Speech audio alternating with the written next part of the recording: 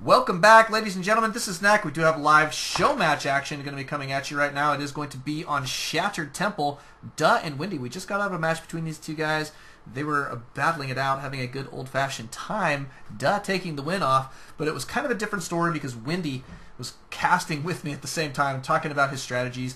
And uh, while he is, you know, a, a, a higher ranked player than Duh at this point, uh, it's not by tons, and Duh is really giving him a run for his money. But we want to give him a chance to uh, you know to, to take this game super serious. We're going to see how who is going to be the victor in this game.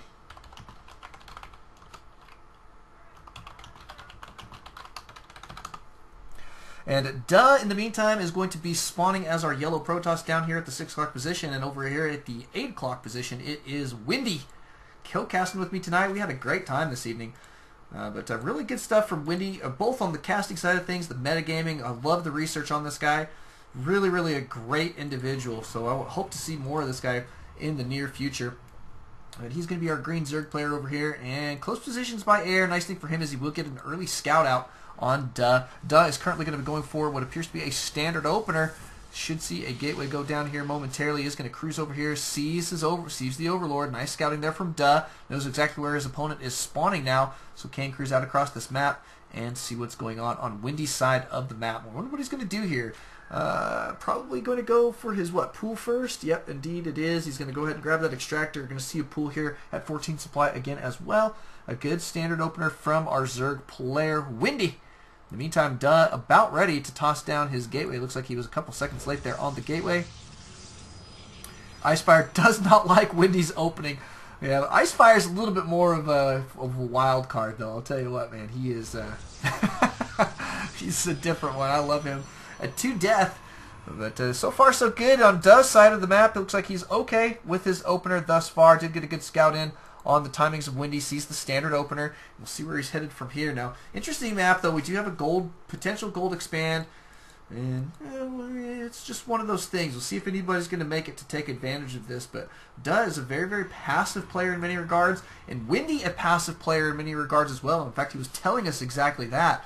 And so I'm interested to see how these guys are going to be battling it out with Windy focusing here. My guess is that Duh is still going to have a pretty decent uh, time with this matchup. I mean, not necessarily that Windy's going to lose or anything, but because of the nature of Protoss, I think that that passive play tends to favor the Protoss player in some regard. So should we could potentially see just in general a little bit of an advantage here for Duh. Now he does have a, Zealot cruising out onto the field here. Did go for his Cybercore first before he tossed down that Zealot.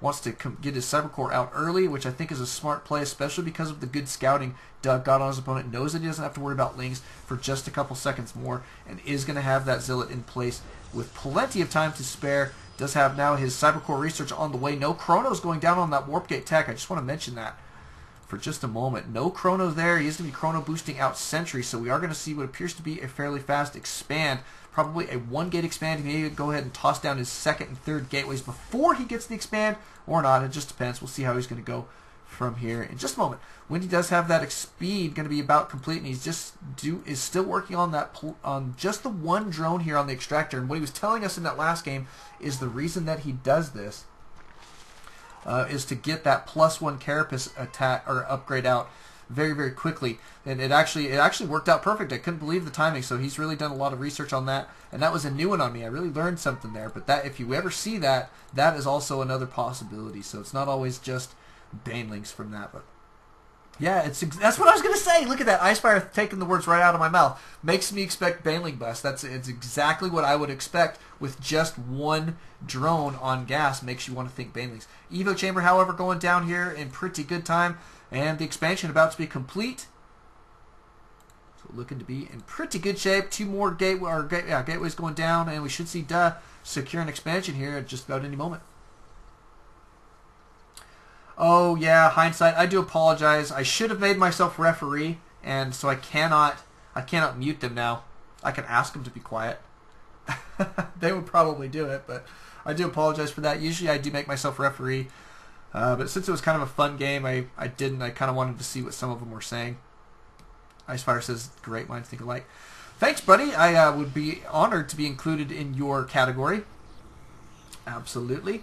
Windy in a pretty good position here. He is on that solid second base. Now, Doug behind, in my opinion, he's way the heck behind on his expansion here. It's almost seven minutes in, and he still hasn't secured that expansion. This three-gate play, you generally want to expand behind this fairly quickly, and so I, I, in my opinion, at this point, Duh is a little bit behind on that for now, but he is going to be going for what appears to be a push down to the low ground, maybe.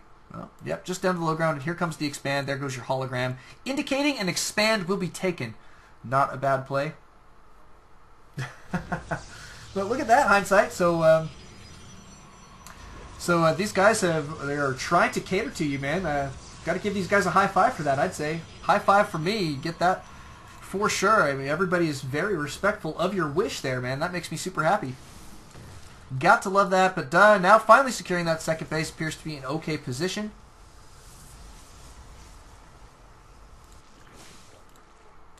Hatchery now working on a lair here, it appears.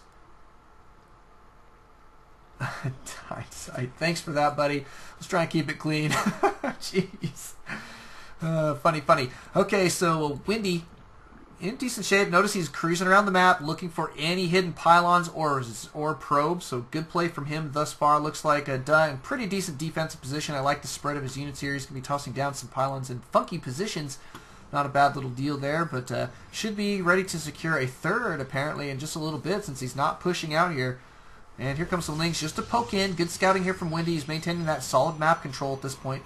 Look at notice his Overlord placement, really, really good, as well as obviously holding that center Xel'Naga Tower appears to be in really good shape. No third from him quite yet, however, so we'll see if he, I mean, he tends to not, he said that he likes to play passively, so we won't expect to see one until right around the 11 to maybe as late as the 13 minute mark.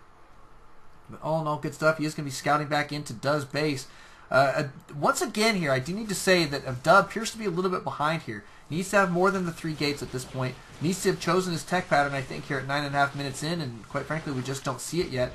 Uh, taking two more gas, and I really would like to see some more buildings out of Duh. Now, Windy did sack that Overlord on purpose and got supply blocked. Not a, not a recommended play.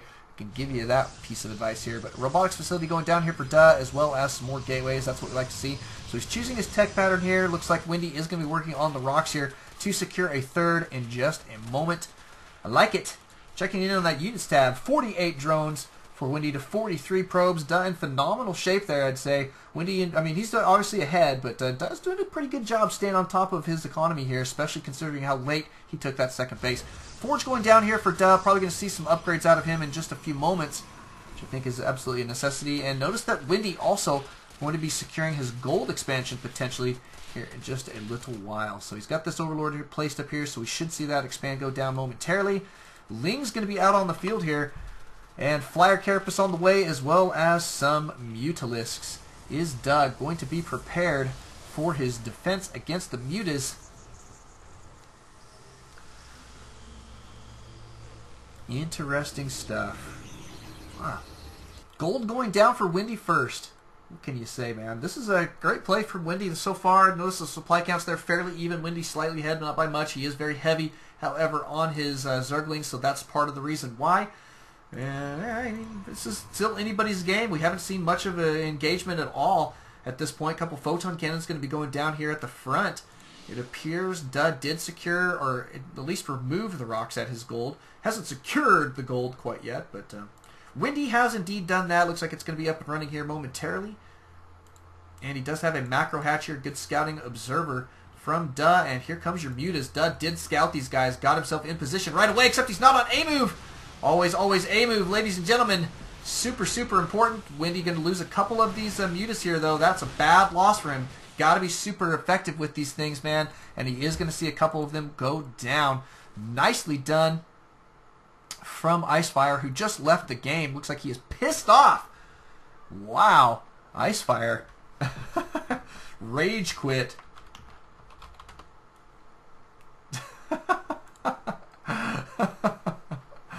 Oh man, I think I'm funny sometimes. But Windy did secure his gold. I'd like to see that sucker go down. In the meantime, Windy is going to be going for what appears to be a backdoor attack. These rocks still have not gone down here, but uh, he does, has a good scout on these uh, rocks, so he should see them going down. But in the meantime, these rocks will indeed disappear, and Doug going to be securing his gold. great stuff from both players at this point. And here comes your Muta Harass one more time. We'll see if Windy going to be able to get a decent amount of damage done. Done. Fairly decent position here. We'll like to see him pull his probes ASAP. Go, go, go, go, go, go, go, go, go. Uh-oh. Lot of losses here, duh. Not not impressive, man. You got to be pulling those guys. Got to be pulling your probes very, very quickly and getting these stalkers into position ASAP as well. So look at this dipping back in. This is a lot of probe losses to endure. Watch this units tab. 35 probes right now for Duh is not a good position. So very, very effective play here from Windy and quite a blunder. Uh, in my opinion, for Duh. It's just one of those things that he's got to work through, I think, in his play style, that you've got to be able to react quickly, quickly, quickly to that Mutalisk harass. But uh, Lings are now up in the potential third here of Duh. Nobody here, obviously. The Rocks on the field still, so blocking these Lings from getting in, and Lings currently way the heck out of position. But nice looking army out on the field here for Duh. Going to be warping in even more, and his gold expansion is about to be up and running. No defenses here, however. It looks like Windy make... Ooh, nope, he doesn't scout it. I thought he might cruise in there. But he is going to have to endure a push from Duh. Now, Duh's got a pretty substantial army. Plus one attack, though, complete. Mm, maybe not enough. We do have plus one, plus one on the Lings, and I can grab just one Muta. Plus one flyer attack on the Mutas. And Duh is going to back out here. Kind of an interesting play. Looks like Windy trying to force the base race. Trying to catch Duh out of position, work on a run by. Not quite going to happen here for a moment. Duh going to be warping in some more units, and looks like he may move back out across this map. Windy, however, has been on this gold expand for just a little while, and it is really starting to kick in in a big way. So we'll see how this is going to go, but here comes your attack. Spinecrawler, Mini Forest. Not going to happen for very much longer. It looks like Windy trying to get a flank here. He is going to have to stall his unit production for just a moment. He is currently supply block there, thanks to Duh. Looks like Duh is going to help unsupply block him here. Lucky, lucky. I guess, uh, if you would, if that's what you want to call it. But uh, looks like uh, Windy's still kicking at the back side of this army. Wonder if he's going to. Here he goes for another flank attack. Uh, force fields there, not super effective, but this army's still in good position here. And lead edge notices the force fields as well. There we go. That's a little bit better force fielding there, keeping a lot of those Zerglings at bay, as well as keeping some zealots out in their face. It's not a bad little play there. But uh, Windy losing a lot of units here. Goku currently slowing down the game is blocking that for me. But you look at this, Duh, way ahead in the supply count right now. This is the power of a Protoss army. Now he's cruising into the mineral line here with half, with a good portion of his force. And Windy having to GG out of that game. Phenomenal play there from Duh. Very, very powerful push there. Even though he was behind economically, he was able to pull it out. And Windy just needed, I think, a little bit better engagement there. Uh, probably needed a couple roaches maybe to help uh, tank some of that damage. But all in all, great play for both players. Thank you guys for coming out. Thank you guys for watching. Don't alt tab, always alt StarCraft. We'll catch you guys in just a little bit.